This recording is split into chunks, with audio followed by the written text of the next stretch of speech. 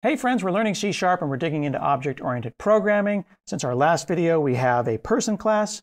Person has first name and last name and birthday. Uh, and then David, you had commented that you wanted these people to have pets. That's right. So now that I know how to do object-oriented programming, I know exactly what to do. Public class cat, All right.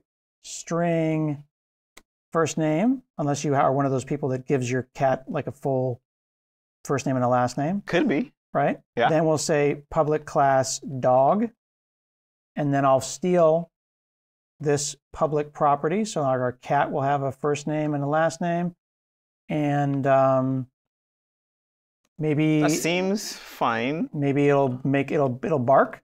Okay. Public So dogs bark? string bark, Is it bark or is it Okay. um, and then it will return bark. okay? Okay, I'm a genius. I'm a That's genius good. I'm- I'm programmer. Cats meow. you watching right? me? You watching? Are you experiencing the magic? this is and pretty good so far. do not they meow. Yep. I feel like someone's watching this and judging me. Definitely. Okay, and meow. There you go. If you want to show us uh, uh, some some fancy syntax, you can actually since meow and bark just return strings. Okay. You can use the arrow to return. Get rid of the get rid of the um. Yep, that's right. Get rid of the curly So, braces. Let's do. Yeah. go there you go. that. Meow. Yep. okay, so this is cool. Expression bodied functions. So instead of having those functions be bigger, we're going to do it a little differently. Yeah.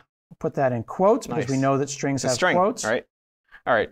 All right. So you have a Ship it. cat and a dog. This is great. Those are the only kinds of pets people ever have. People don't have tigers. Well, no, I mean they, they have do, all kinds of pets and they all make noise. Right. Uh, they all have they all have names. Now I've got names repeated everywhere. You also would have to declare your person object with a list of cats and dogs and every other object. Oh, Possible for pets, right? Right, So- because if I said public list of pets, Right. is it cats or What dogs? is a T? Right. I don't know. What do you put there? Yeah, well, I'm going to have to put cats none. Right. That's going to be messy. Right. All right, well, how are we going to fix that? So one way of, of trying to change this is to introduce a base class or a parent class that is pet. And that Ah. should describe the common properties of all pets. Okay, well, all pets have first names In our world, it does. in our world. Yep. So then I'll pull one of these up there, and then they all uh, They all they don't they bark, don't bark though. or meow, but they do make a noise. So we could say like make noise. Okay. Make noise. And I'm going to Make put boys. make boys, make boisey. I'm going to say question marks because I don't know what noise they make right now. right. So our our base class pet is the the model of any pet, right? And all pets in our model have names. Is this like a generic pet? Like It's a generic pet. Okay.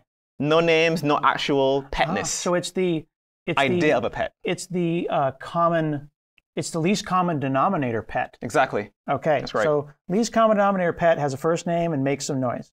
Right. But we oh. can't we, we don't actually want to implement any behavior. We just want this to be a shape, a model. So Oh, so this pet doesn't do anything. doesn't do anything at all. That's kind of an abstract concept. That's right. It's not that's an abstraction. That's the word we use to describe concepts that don't have a concrete or specific um, then is this an abstract class or is it just virtually a pet? it's an abstract class. Okay. So I would say public abstract class. It's a Right. concept, but there's no animal called pet. Exactly. One important thing about having an abstract class is that you can't new one up. You can't create a pet. Yeah, you can't. You have to create a specific kind of pet. Exactly. A cat or a dog. So then why is it mad about make noise? Because make noise, you can't uh, declare any. You aren't declaring any behavior for make noise. There's no body. Mhm. You want to just uh, reserve a slot essentially for derived classes to give you an implementation of make noise. Right, because this pet doesn't exist, it can't exist, so it can only think about making noise, but some other pet downstream Right. will make noise. So what do I say to that? Let's make this an, an, an abstract method. Okay, So no implementation. It's a pet that can make a noise and it has a name. it's a blueprint. It's a blueprint. I love it. All right, cool. So you've designed what a pet would look like in, in our model, Okay, and now we're going to build two concrete um, implementations of pet, Okay. cat and dog. so one of the little tricks here we can do in Visual Studio Code, you see this little chevron on line 17. What I'm going to do is I'm going to click that, and I'm going to fold up. That's called Nice. code folding. The code's there. See, 17 through 22 just folds up. but that's going to make it easier for me to see that cat. So how can cat and, be, and pet be related to each other? So a cat is a pet. Okay. That's important. The is the relationship. It doesn't right. have a pet. It doesn't have a pet. It, it is a pet. Okay, so people have pets and cats are, Are pets. pets. Okay? Exactly. So how do I say it is a pet? So the syntax for saying this cat derives from pet or is a pet Mhm. is you say colon and then pet. Okay. And then since we're using C sharp 12, you're going to pass in the name from the constructor into, yeah, you got it. Oh, so I take the first name of the pet and I hand Pass it it upstream. on to the base. goes upstream. That's right. Okay. And now it says, hang on, this cat doesn't do make noise. Right. Well, So we, we declared the abstract make noise method, mhm. and now all derived classes must implement this make noise. okay, so meow now becomes make noise. Right. And then in this case one more here, step. It's saying, well, hang on, I need to, oh, I'm reading. I'm reading the Oh, error. yeah, read the error. David. I'm reading. It says override. It's basically saying, are you overriding?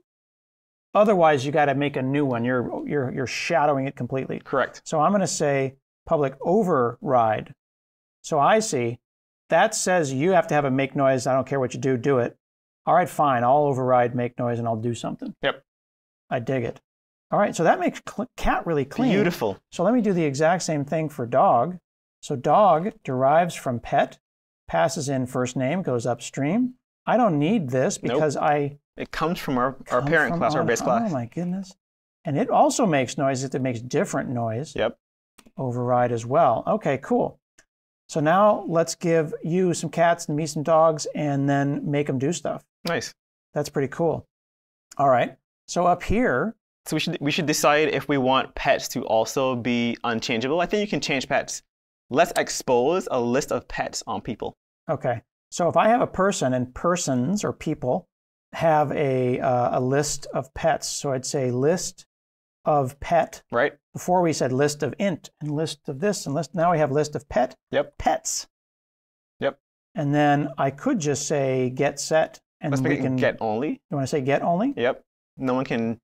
Well, you can adopt a pet later. This is true. See, this is the interesting thing though, because we're not going to be able to solve this today. But what, what David is pointing out is that as you get more advanced in your C sharp experience, the answer to everything is it depends. It depends. Because both what he and I are arguing are absolutely valid. Well, you can have pets. Should you be able to allow will change? Pets can change names. Why can't they?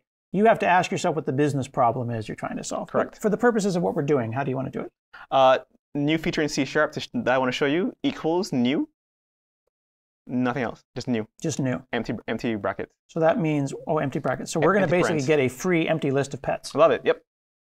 Very cool. So everyone has no pets, but it's not um, nothing. I see. So I don't have to outside it make make pets. Correct. So then uh, presumably I should be able to then say p1 dot pets Dot add. dot add new pet. Um, I don't know. My dog is named dog. But wait a second. I want to make a new pet. I can't make We'll a new try it and see what happens. Well, I can't because So it it's- tells you the squiggles tell you you can't make an abstract pet because it's a dog. right. You can't make concepts. You have to make concrete things. I don't, I'm not even very good at creative Is names. that, is that your dog? My dog's Your name dog's is name is dog. dog. Uh, we'll call the dog. We'll call the dog yeah, that's good. That's a good name. Dog is Fred. Okay, and then I'll have two dogs. I'll have Fred. You don't and- want cats? Fred and Barney. No, cats. I don't like cats. Pet two. Okay, P two is you, and we're going to say pets dot add, and we got the add from Yep. list, right? And we're going to say new cat. What is your cat's name? Beyonce. okay. I like that. Okay. All right, because Beyonce would never talk to you, and your cat's never going to talk to you either. Okay, Uh. cool. And then I have my list of people. So how would I then list out or dump the list of all the people and dump and maybe query all of this? All their pets. And so let- let's list people and their pets. Sounds Okay, good. Okay let's do it. All right. Let's loop over all of the. Well, we can use for each. We can use a lot of th- different things, right? Yeah. So for each uh, person, for, for each var, I don't need to say person, Yeah. in, uh, where's our list of People. people? It's also each- very common in, in coding in general to use the first letter of the variable you're looping over Oh, as interesting. the loop variable. So Okay. for var, for each var p in people is very common. Okay.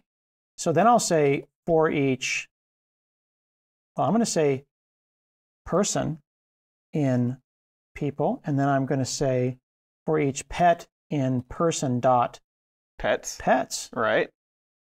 and then we'll say var. I need a var. Oh, I need a var. You're Var. right. Var pet. And then just print out pet and print out person. Let's see what happens. Okay. So we'll say, and then let's do our string interpolation. We'll say person dot first name. No, no, no. Just actually print the actual object. Oh, you want me to say person? Yep. Print print pet in the inner loop and then print person Has in the outer loop. No, I think you're in, the- you're in the wrong loop. Oh, okay. Yeah, just so You in want me this to be loop, outside here? So yeah. I'll be So the first here. one just print person. Oh, and then maybe like indent a little bit. Yeah. Yep. Oh, that's cool. Okay, that's a good idea. So we'll go like this. So I'm spinning through my people, spinning through my pets. I'll add a little Yep. space here because we'll make it, and then we'll have pet. But I didn't say pet dot first name or any Nope, of that stuff. You out. You, you sure? Yeah. All right, David. I don't know, man. We'll see. Perfect. We're done. Okay. Wait a second. That's it not doesn't great. say David and Scott. It doesn't say the name of my cats. What's right. going on So here? super important. When you declare your own object, um, you know when, when we when we printed strings and numbers, somehow console WriteLine understood how to turn that into something that made sense. Right. We built whole sentences and said pet dot this and, Exactly. and person dot that. So we could unpack those objects and then like print out the various first name, last name, etc. We can do it manually. Or we can override toString, which is something that every object has by default. So anytime you declare a class in C Sharp, your class derives from the Uber base class object. Object has a virtual, me- uh-oh, a virtual abstract method called toString, Okay. which is used to print that object in things like console write line, string Okay. interpolation.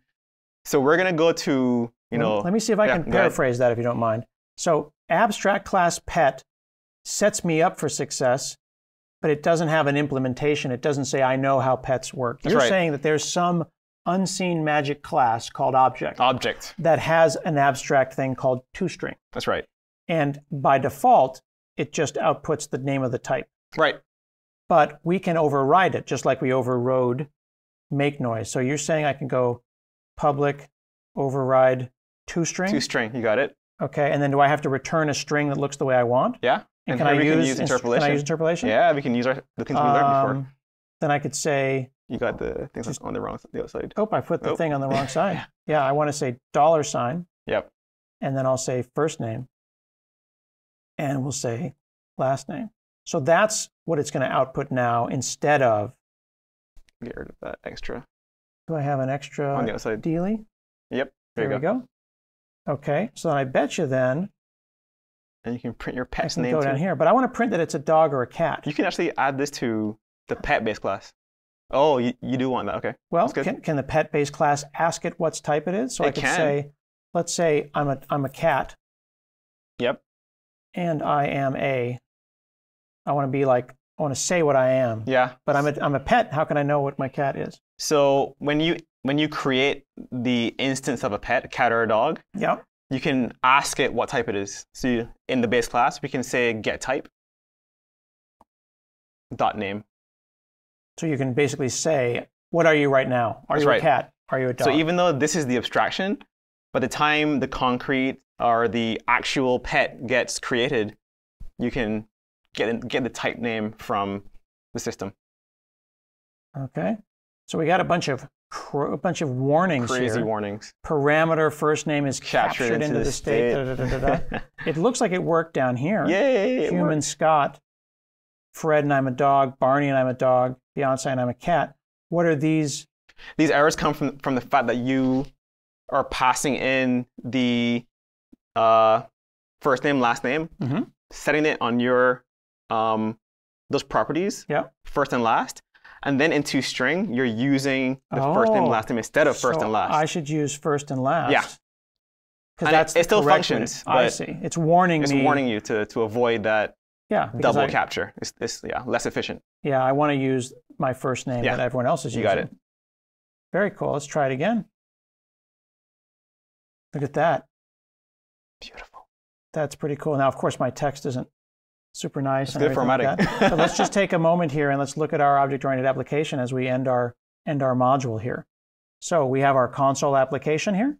We've got a person, Scott. We didn't do anything with birthday. Yep. We have a person, David Fowler. They have pets. So person has a pet, and you made it a abstract base class of pet. So in in my person class, doesn't say dogs, doesn't say cats, says only pets. Has a list of pets, right? We overrode toStrings, so anytime anyone says console.writeLine to a person, it says I'm a human and it says its first and last name.